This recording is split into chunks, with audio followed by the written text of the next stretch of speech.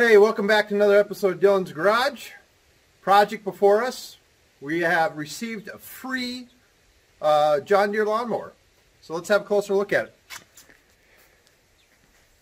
All right, th first thing you may notice is the hood is off of it. I don't know what shape it is in.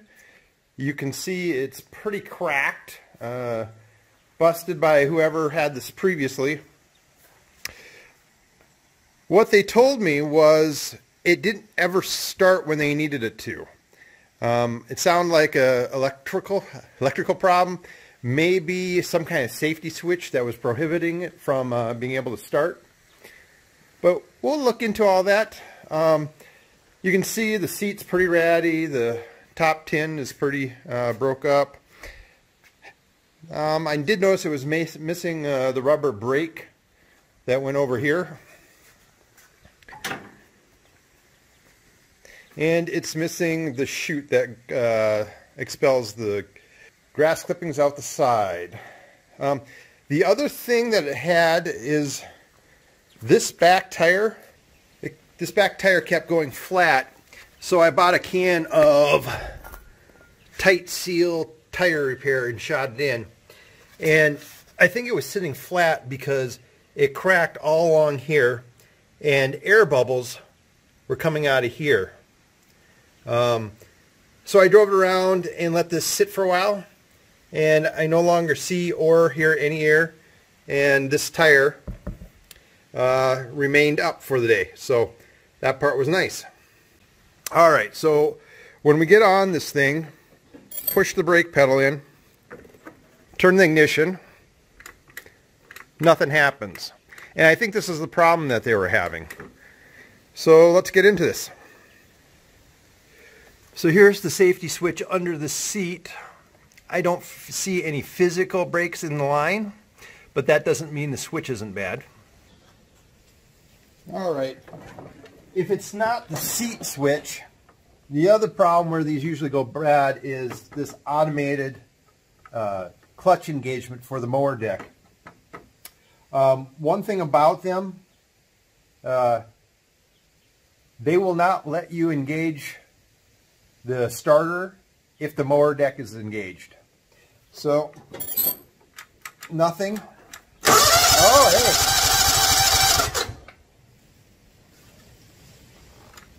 Ah.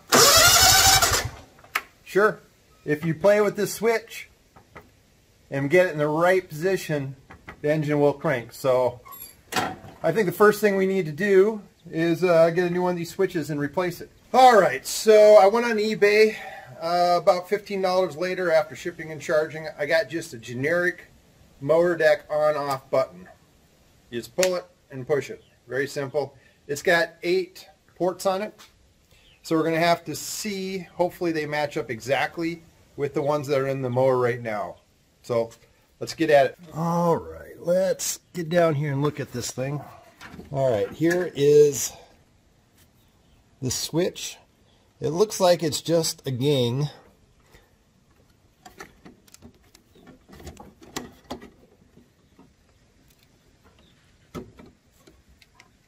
Yeah, and if you look at it, there's a plug missing, just like the one that we have. All right, let's just test this out, make sure it fits. Perfect. All right, it's plugged in. Now this should turn over immediately. Beautiful. All right, let's see if we can get this out. by the looks of things, uh, it's got these clamp feet that got to get pushed in.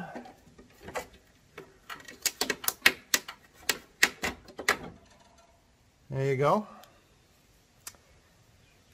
Take this back off. Um, there is some writing on it. We'll just go this way. Fits perfect. Just test it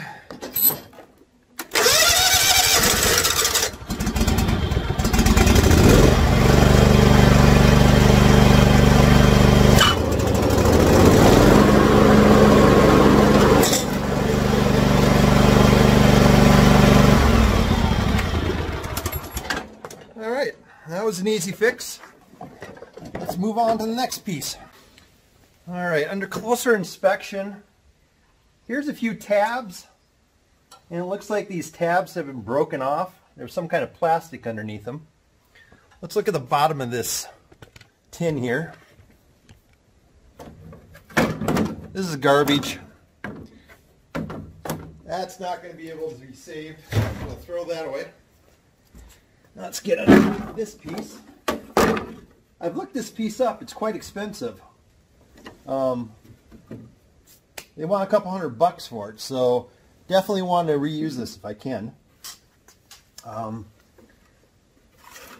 so it doesn't look like anything is broken off underneath here. There is this piece broken off, but it doesn't belong to here. So hopefully, um, same here on this side. Hopefully we can replace this piece and uh, have this good as new.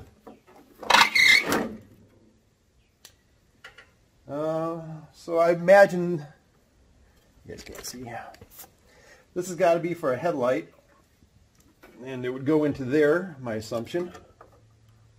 Pre-wired for the headlight. Um,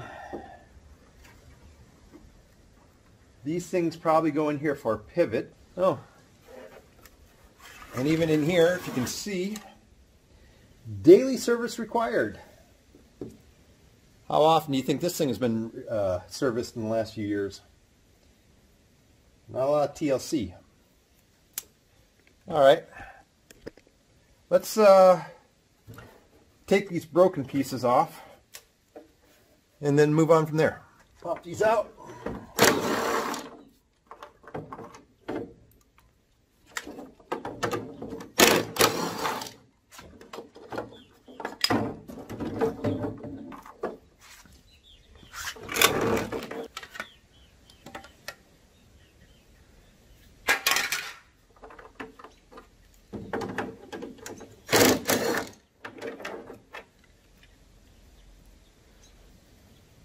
Screws in that piece.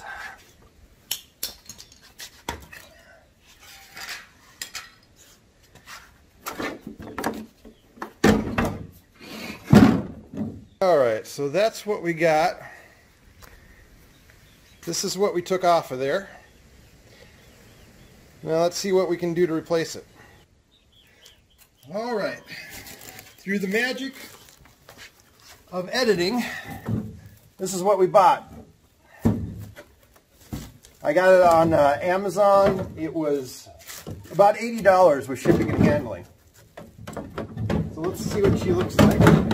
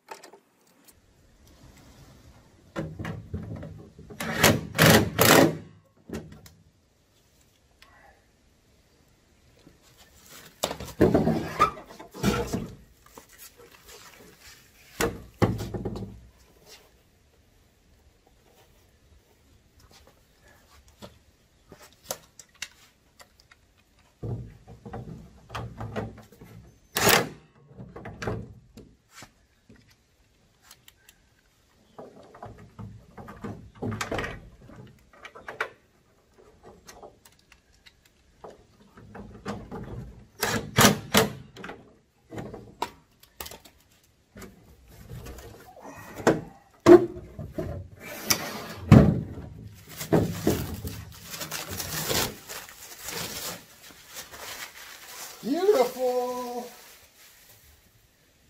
Look at that.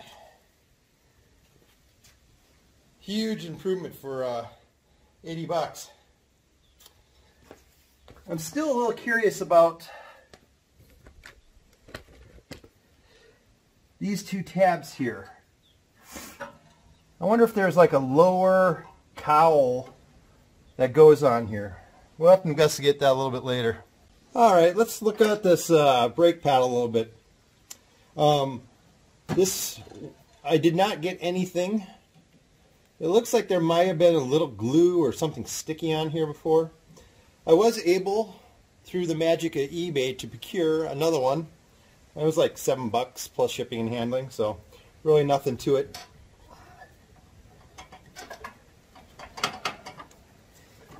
Ah, need some persuasion.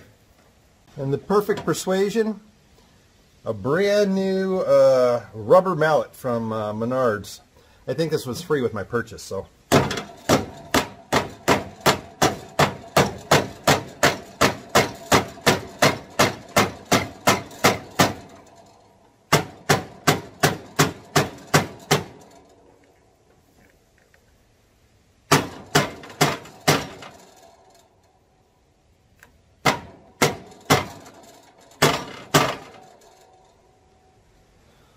All right.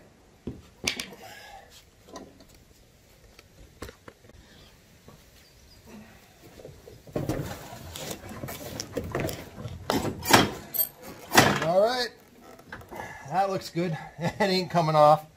Makes you wonder how it ever came off in the first place. But it, the one probably cracked and broke off. So, how about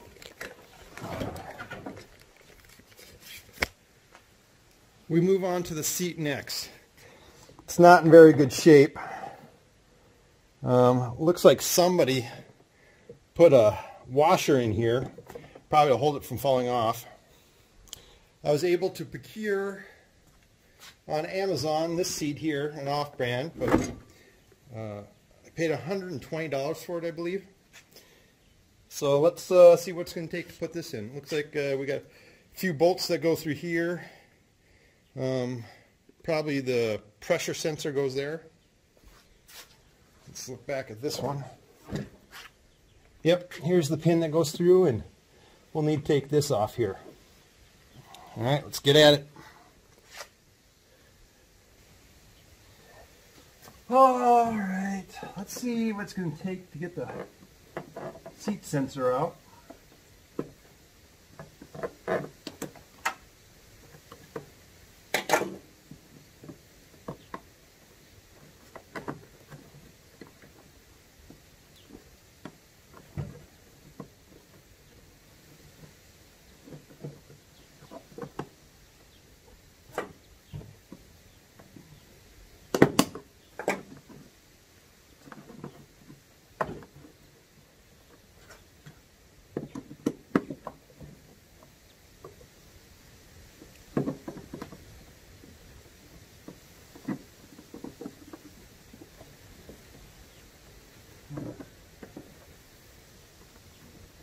Looks like it needs to turn somehow.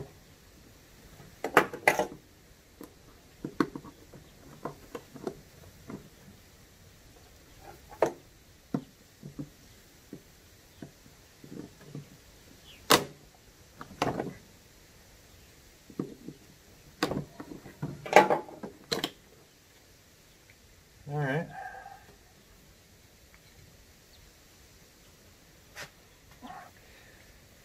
See what this thing is? That's all it is. Looks like this can probably stay in there.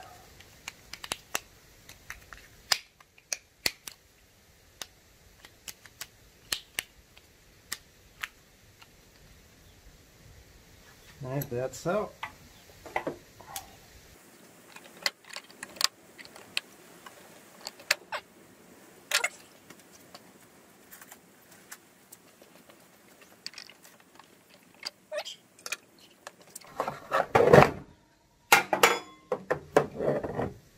Nice John Deere emblem. Yeah. like to save it, but I don't think I can.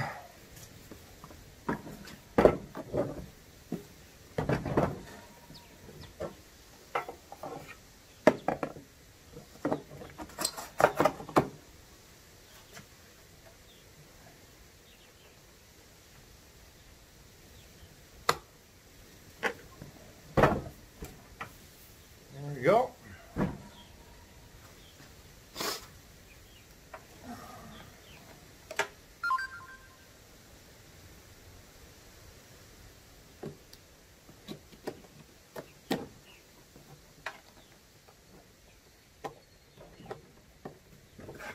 All right. Now let's make sure she still turns over.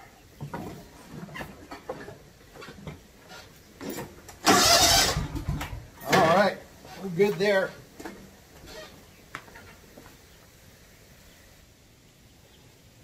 All right, the next thing is, uh, let's look at the oil on this.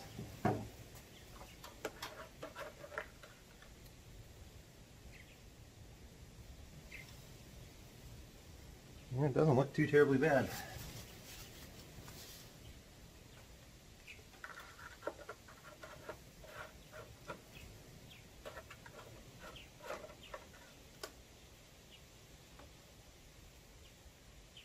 Not bad at all. Somebody has recently changed the oil. So I guess we can skip this step. All right, we're going to leave that oil in there, save the filter and bottles that I got for uh, next year. Now what we're going to do is we're going to try this new hood out, see how she works.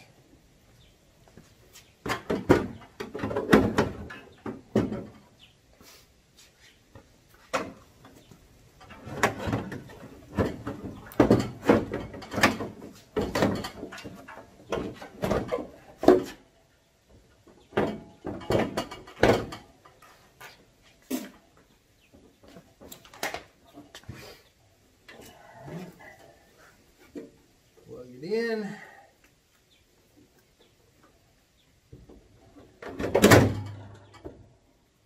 Nice.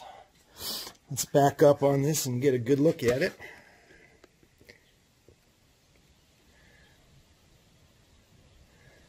Look at that. Makes it look almost brand new. All right. And the one last thing that I got for it, I got a new chute. But when I look at it, it's too small. This is for the 42 inch. And uh, after closer inspection, this is a 48 inch deck. So I'll have to get a new chute. Uh, and we'll come back to this at that point. Um, now the deck does look a little, let me, it's down here. Let's uh, look at the deck as far as how flat it lays.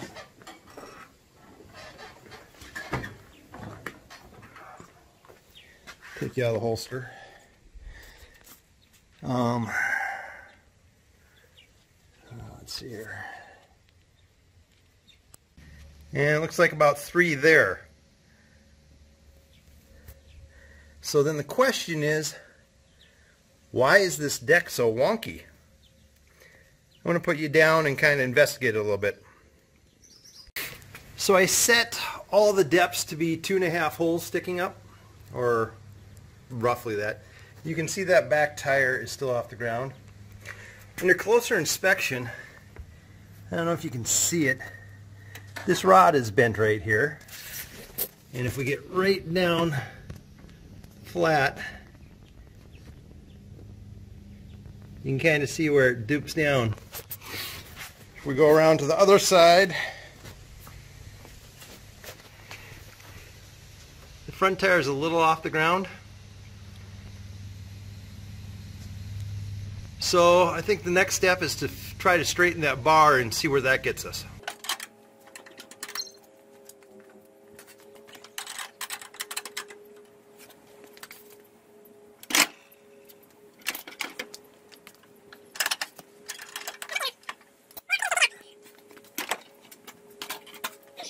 All right, we took it out, and you can see how bent that is. So, um,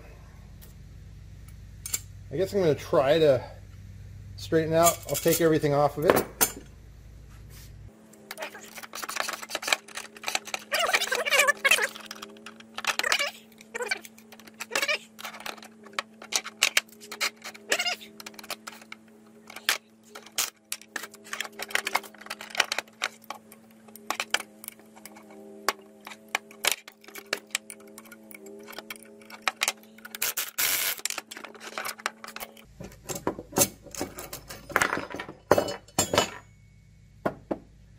All right.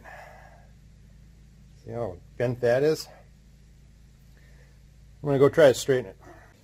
All right, I put this around some metal and uh, pulled on it and bent it. Pretty straight now. I like it. Let's put it back together.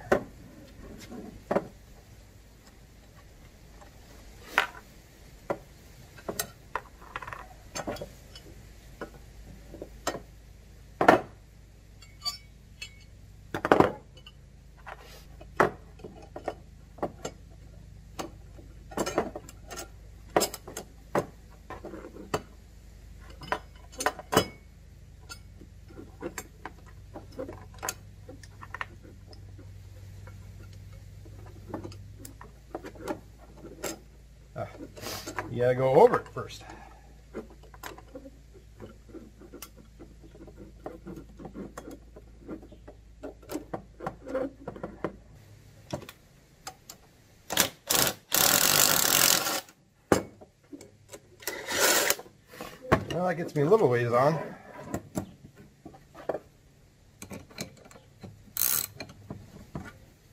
All right, let's go with that.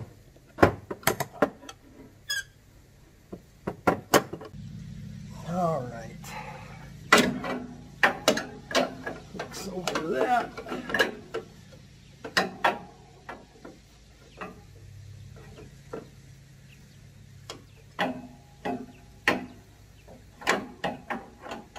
It's in there.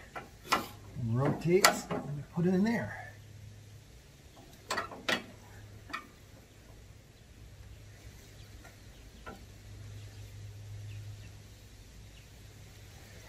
Simple as that. Let's go check out. Just change the level any.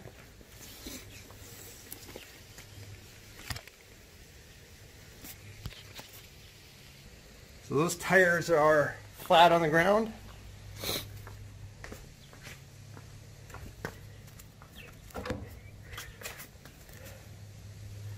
That one is way up. I do declare I think the deck is bent.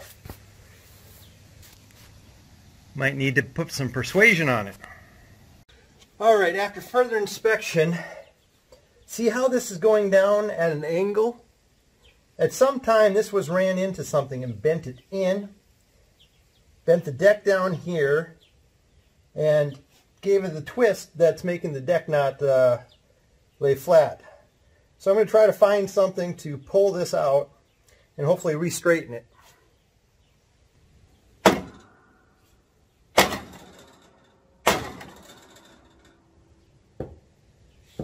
Yeah, I don't know if that's going to do it.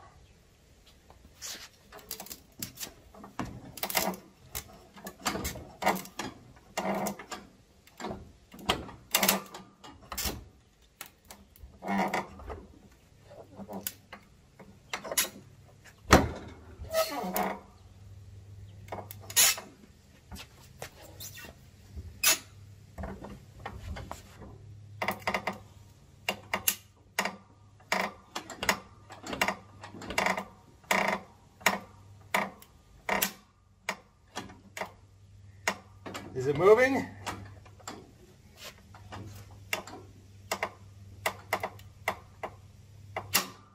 Yeah.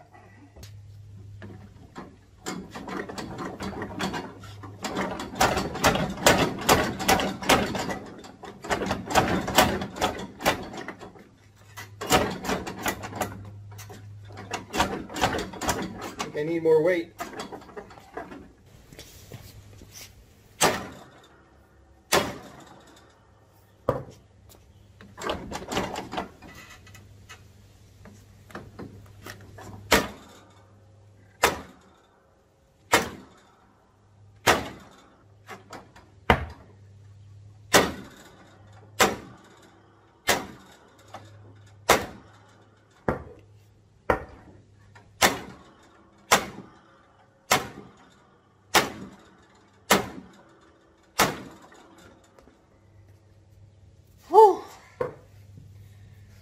Getting a little straighter. Yeah,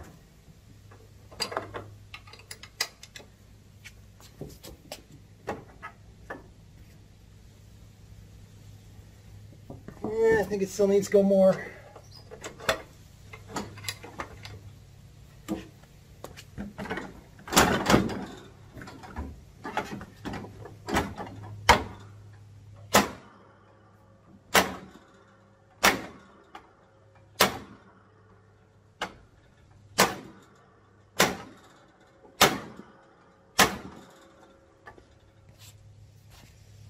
All right, I think that looks pretty straight.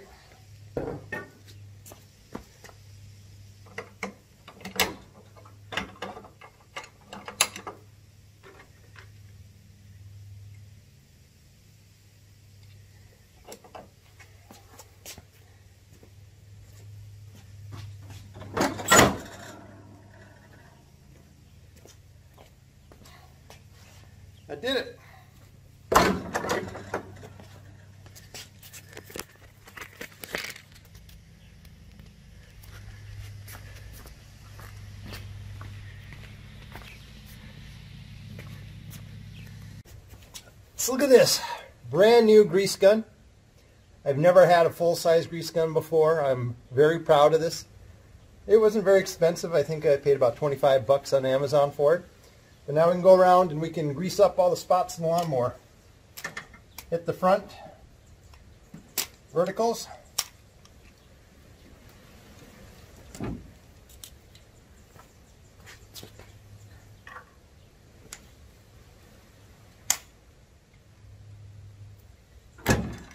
Now I'm just going to hit the mower deck and go around to the back.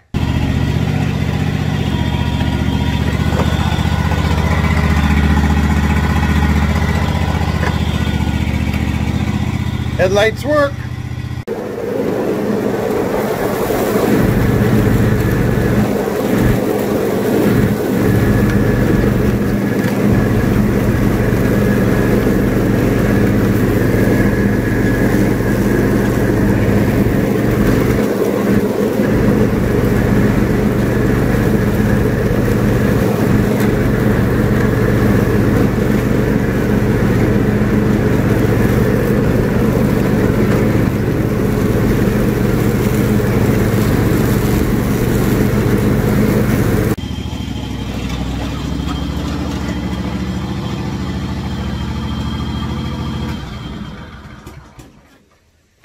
Well, I just got a really good test the mower. Uh, very happy with the way it performed.